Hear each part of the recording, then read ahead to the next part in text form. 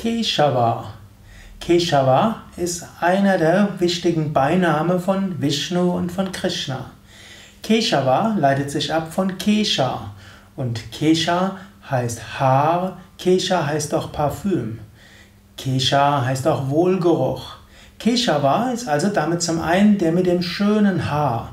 Und gerade Krishna wird immer dargestellt als jemand, der schönes Haar hat, ein dickes Haar, ein wallendes Haar. Also Krishna charakterisiert ist durch ein besonders schönes Haar und ein prachtvolles Haar. So ist Keshava auch derjenige mit einem prachtvollen Haar. Keshava kommt aber auch von Kesha, Duft und Parfüm, Duft, was überall ist. Und so wird auch manchmal gesagt, Keshava heißt der, der überall ist und derjenige, der überall duftet. Keshava, also derjenige, der überall Gutes bewirkt. Und daher wird oft gerade von indischen Meistern gesagt, dass Keshava Beiname von Krishna ist. Krishna ist der, der überall spürbar ist, der überall als Güte spürbar ist, der überall als Schönheit und Freude zu spüren ist.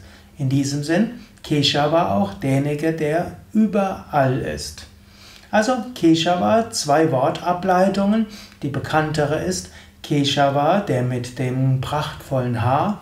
Und die zweite ist Keshava, der, der besonders gut duftet, aber auch derjenige, der als Duft überall erfahrbar ist, mit anderen Worten, derjenige, der als Schönheit, der als Freude, als Liebe überall erfahrbar ist. Keshava, Beiname von Krishna, auch Beiname von Vishnu. Und es gibt so viele wunderbare Kirtans, in denen Keshava dabei ist. Zum Beispiel Krishna Keshava, Krishna Keshava, Krishna Keshava Paimam, Krishna Keshava, Krishna Keshava, Krishna Keshava Rakshamam. Ja, wenn du mehr wissen willst über Keshava oder über Krishna, dann geh auf unsere Internetseiten auf www.yoga-vidya.de. Gib oben ins Suchfeld ein Keshava oder auch Krishna.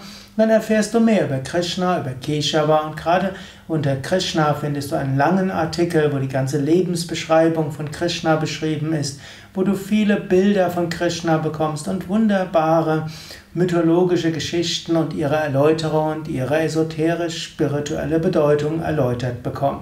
Alles auf www.yoga-vidya.de. Vielleicht kennst du auch den Leiter des Yoga Vidya Ashrams Nordsee. Im Jahr 2014 ist das Keshava und da passt auch der Name Keshava in vielerlei Hinsicht auf ihn. Om Shanti.